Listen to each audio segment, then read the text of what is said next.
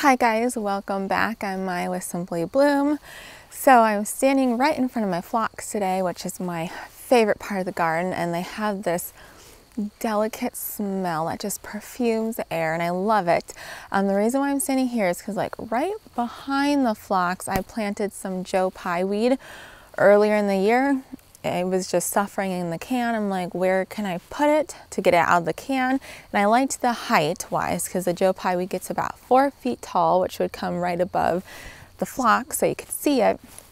But the more I thought about it, I'm like, eh, I'm not sure I like it there. Like the two different pinks, pretty, but not quite what I'm looking for. And then Steph from Flower Fanatic posted a picture on Instagram of her Joe Pye weed right behind her Rudbeckia and it was gorgeous. I'm like, genius, Steph. So that's what I'm doing today. Let me show you. Okay, so these pink purple phlox are the Luminary series from Proven Winners. This is ultraviolet. And then I have a white David phlox, which never never performs as well as the ultraviolet phlox. And then right here is my Joe Pye weed. Please ignore all the weeds. Like I said, it's going to get about four feet tall, two feet wide, so it would have filled this corner in really nicely.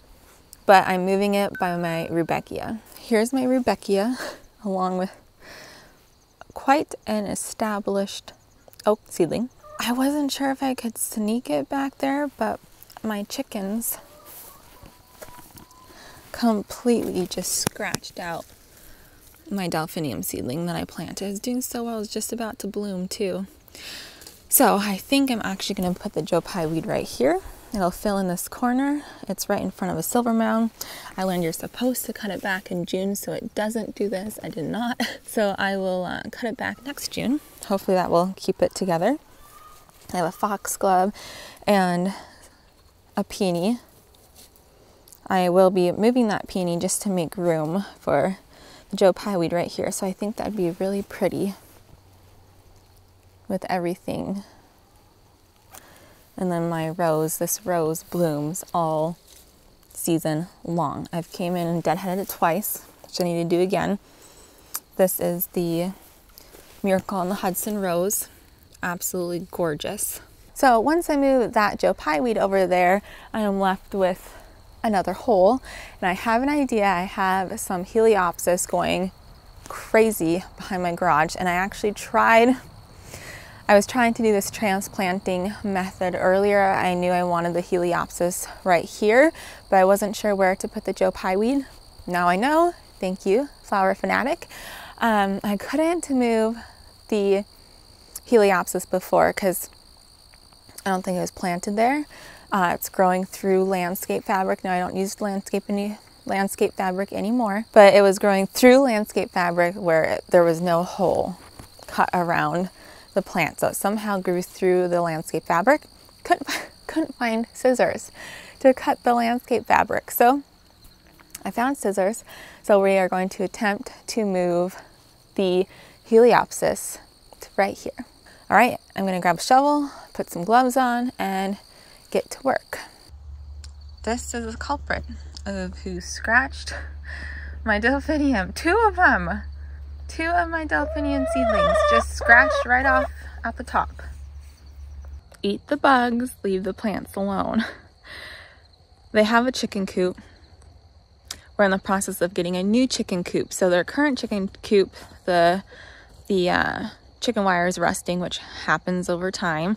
We've been kind of trying to patch it without spending too much fixing the old because I'm hoping to be getting a new one in the next few weeks. And then, you know, don't want to dump money in the old when you can just like make the new one nice. Look at her. Scratching. Come on. Out. Come on. Come on. Out. All right, let's get to planting.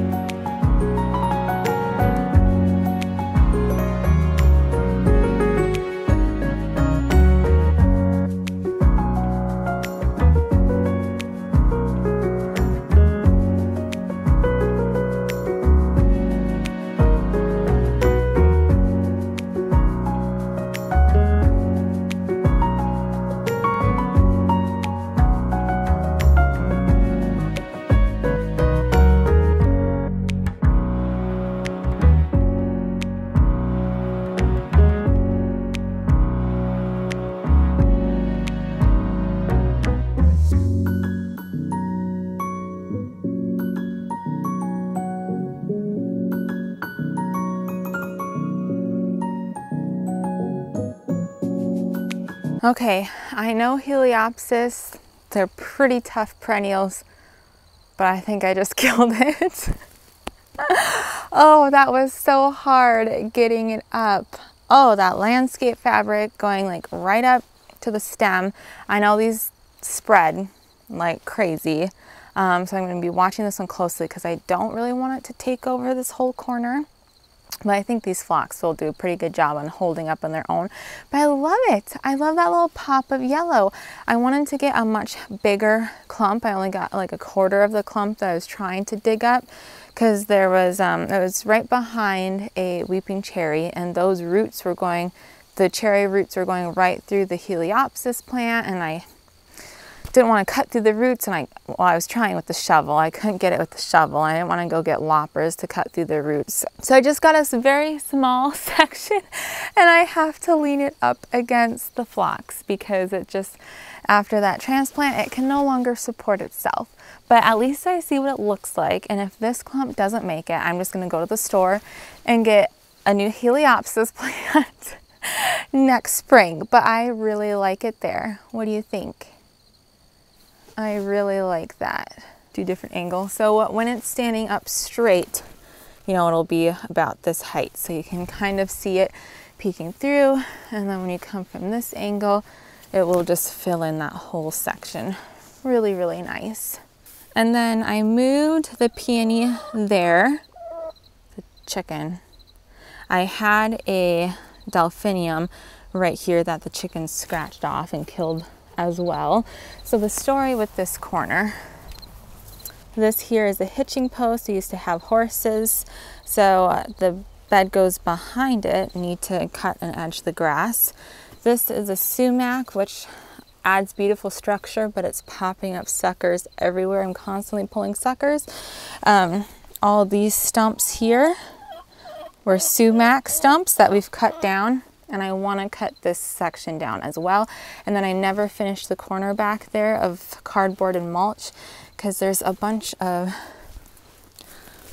like electrical wires. I want to, yes, our chicken made a nest there. Um, so I want to chop off these sumac, figure out what all that wire is, and then finish mulch and cardboard because this sumac just shades too much. It's shading everything else in the bed. I will leave you alone. Uh, so yeah, I planted the peony there. I guess I can't remember what variety it was. When I dug it up, it looked like I had it planted too deep over in the other section, which would kind of explain why it looked like it was struggling all year. So I made sure to bump it up higher. You want to make sure you do not bury the eyes any lower than two inches deep. Otherwise it struggles and you will not get any blooms. So we'll see if it'll be happier this way. I am obsessed with this view. I love it. I love the Rudbeckia. I love the dark foliage of the dark side of the Moon astilbe. I love the silver foliage of the silver mound. Hopefully, like I explained earlier, it'll be more mounded if I kind of shear it back in June. And then the Joe Pye weed. I love it. Love, love, love. So I kind of try to put it right in the middle. I have two clematis and I love it. Okay, you guys, that is it thank you so much for watching. I'm glad I finally got this done because like I mentioned earlier, I was trying to do this, gosh, like a month, month and a half ago and it just didn't work out, but I have it done now and I love where everything is. So thank you, Steph from Flower Fanatic for inspiring me to move my Joe Pye weed over there. I'm obsessed. Thank you so much. I hope you all have a great day and I'll see you next time. Bye.